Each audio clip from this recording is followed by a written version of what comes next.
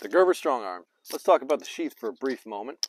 Due to its incredible amount of modularity and attachment points, you can literally strap this thing to pretty much anything. Tac vest, belt, boot, girlfriend. Good grip, good weight, good feel. The spine is sharp enough to throw sparks off a ferro rod. It looks like a combo lanyard hole and glass breaker. Impeccable tip retention.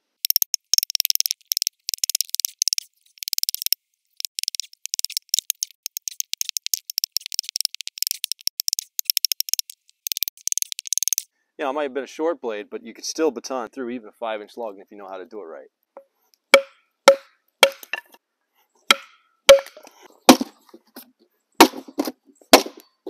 Oh my gosh, it's still sharp. So after stabbing through an ammo can, it still pulls through the paper. I give this sucker a 10 out of 10. Thanks for watching.